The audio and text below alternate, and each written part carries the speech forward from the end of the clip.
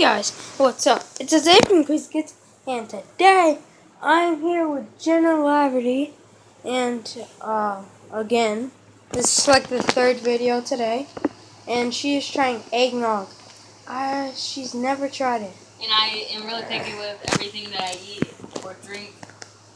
And look up there, I got a Fiji bottle, and I got a regular water bottle.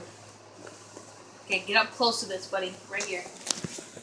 Oh my gosh, that smells disgusting. No, right here. See it pour. Ew, why is it so big? Ew, Ew, because why? it's thick milk. That's disgusting. no, I it's don't think I'm gonna like it. It smells mm. disgusting. I'm really you picky. have to try it. You have to drink it all. One gulp.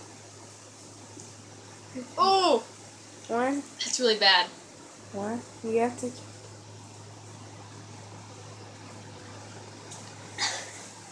Oh, that's so bad. How do you not like eggnog?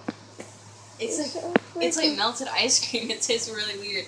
How do you not like melted ice cream? It tastes like bubblegum ice cream. From a scale of one to ten, how good is it? Negative ten. It was horrible. I don't like it at all. She is. This is why I'm really picky because when I don't like something that I, I don't I never usually try something new. I don't like it. Disgusting. That's disgusting. No, it's Don't not. drink this, kids.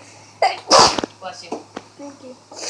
So there is your review of eggnog. It's horrible, and nobody should drink it, and it should never be made in the first place. I like it. Uh, no, it's disgusting. I like it Why? because it's good. I don't understand. I don't like milk. Okay, but you I'll like drink eggnog. Yes. Where's the logic in that?